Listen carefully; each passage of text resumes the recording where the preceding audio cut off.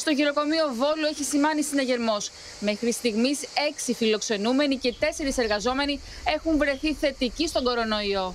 Η διασπορά έγινε σίγουρα από εργαζόμενο γιατί το Ίδρυμα όπως βλέπετε και εσείς είναι κλειστό σε όλους. Δεν υπάρχει ούτε επισκεπτήριο ούτε κάτι τέτοιο που θα μπορούσε να μεταφερθεί ο ιός. Σύμφωνα με τον πρόεδρο του Ιδρύματος, το 70% του προσωπικού αρνείται να εμβολιαστεί. Μέχρι στιγμής ήταν προσωπική απόφαση του καθενός. Δεν μπορούσαμε να πιέσουμε. Ορισμένες από το μέλη μας έχουν εμβολιαστεί, αλλά ήταν καθαρή απόφαση δικιά τους τι θα κάνουν. Έχουμε περιστατικά τα οποία σε μη κερδοσκοπικές μονάδες και, και στην περιφέρεια, Ναι. όταν πέσει το μικρόβιο της αμφισβήτησης και της παραδοξολογίας είναι μεταδοτικό.